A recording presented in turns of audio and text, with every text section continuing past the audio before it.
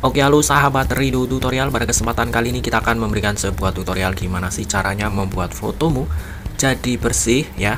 Seperti foto kita ya Foto apa namanya foto jadul kita. Kita foto karena ada bercak-bercak Bencok-bencoknya ada putih-putihnya. Itu kita jadiin bersih gitu ya. Seperti ini contohnya.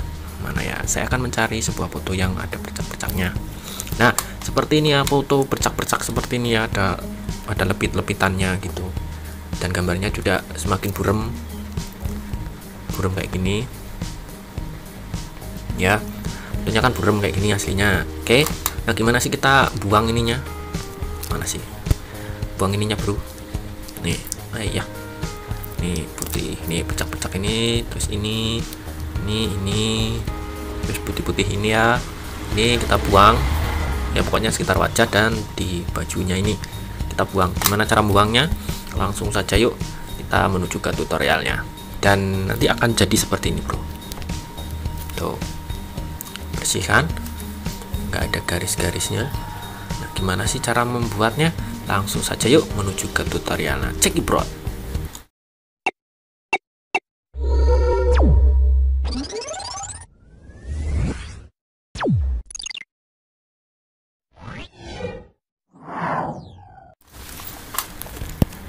Nah oke hal yang pertama yang harus kamu lakukan adalah kamu download saja aplikasi yang namanya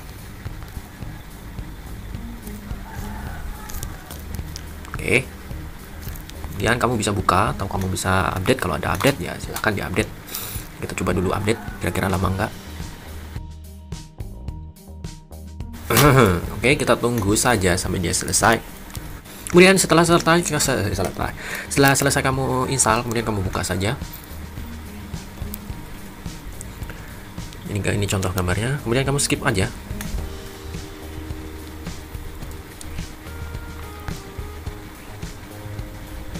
Nah nggak usah. Oke kemudian kamu pilih saja bagian more atau lebihnya. Oke kemudian setelah itu kamu pilih saja di crash setet crash di scratch. Ya di scratch. Red lah. Ngomongnya kayak Inggris-Inggrisan. Di scratch. Kemudian kamu cari saja foto yang akan kamu edit. Nah seperti ini Kemudian setelah itu kamu klik centang ya, siap-siap kamu melihat iklan.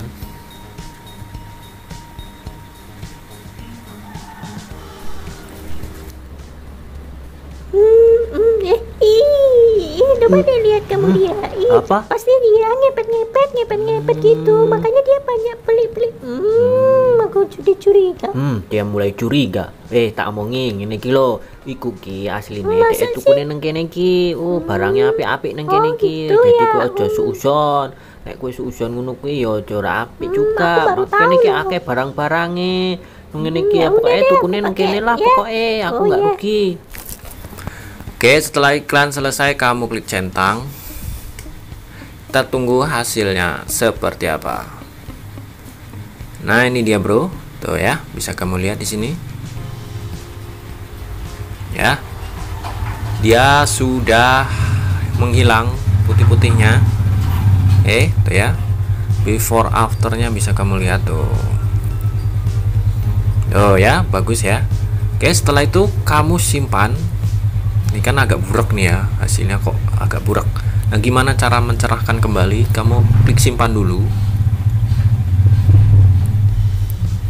Nah kamu centang. Nah sudah tersimpan ya. Kemudian kamu kembali. Kemudian kamu klik enhance. Kemudian kamu pilih yang tadi kamu edit. Ini dia. Oke kemudian kamu centang lagi. Kamu tunggu sampai keluar iklan kamu tonton aja iklannya. Nah iklan sudah selesai kita tonton kemudian kita klik centang lagi.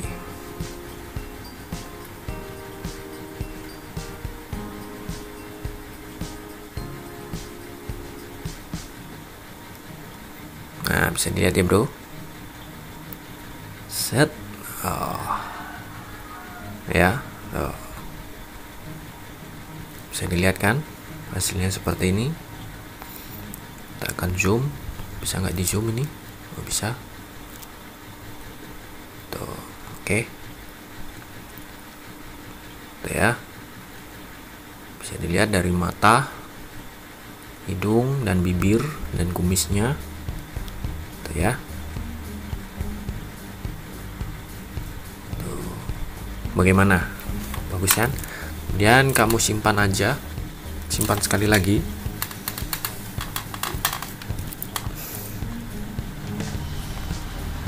Oke, sudah disimpan ya.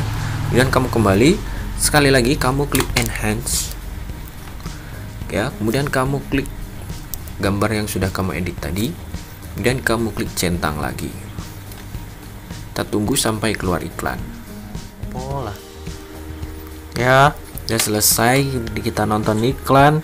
Setelah itu kita lihat hasilnya, oke? Nah, ini dia, Bro. Hasilnya makin kinclong. Loh kita akan zoom. Tuh bisa dilihat makin bersih kan?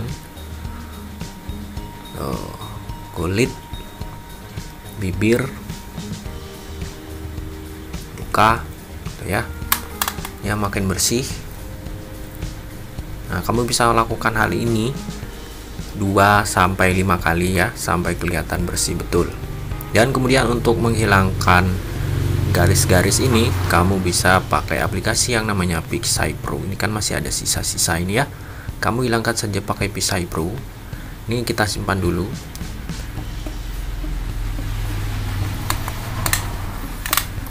Ya, sudah kita simpan. Kemudian kita kembali kita akan menghilangkan garisnya itu tadi yang masih ada sisanya. Dan kita klik picture kita klik import. Ini dia. Kita maksimum aja. Tuh. Harus pakai pen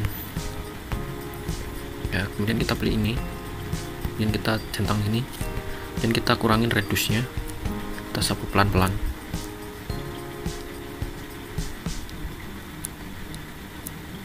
ya seperti itu ya.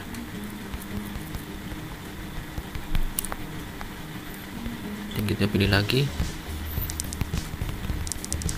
Terus kita sapu-sapu gitulah. Kurang kenceng. Ya kamu sapu-sapu aja.